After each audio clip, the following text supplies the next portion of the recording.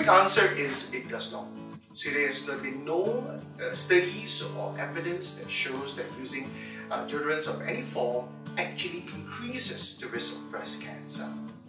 You know, for all products out there, whether you're putting it on your skin or whether you're taking it as a tablet or whether you're eating it, uh, buying it off the shelves uh, or supermarkets, there are regulatory bodies in each of these countries that ensure that these products that you take are actually safe.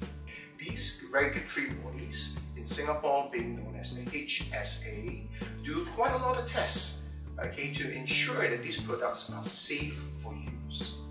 Hence, uh, all these deodorants which you're using okay, does not increase your risk of breast cancer. So please continue